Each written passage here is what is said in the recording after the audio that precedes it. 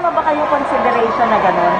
Na si President Duterte ilalagay mo sa senatorial line natin? Actually, ma, na, napupuno na yung line up ko. Kasi, uh,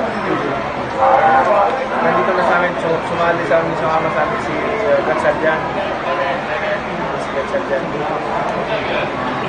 At saka, nandiyan pa si G.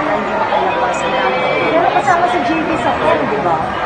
Hindi po. Hindi ka. So talagang puno na. Puno na.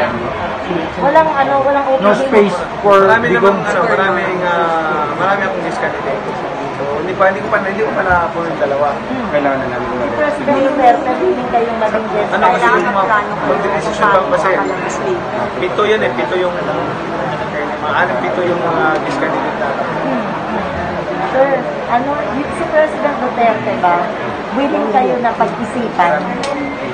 Or mukhang okay naman na siya, hindi niya na kailangan yung yung uh, partido ninyo, yung grupo. Ang focus namin ngayon, talagang kampanya, paalam sa tao yung programa natin. Yung ah, programa natin pagbibigay ng trabaho, pagsugpo ng corruption, at saka yung pagbibigay ng ah, free housing sa at saka hindi lang free housing yung ah, programa natin na libre hospital sa mga senior citizen.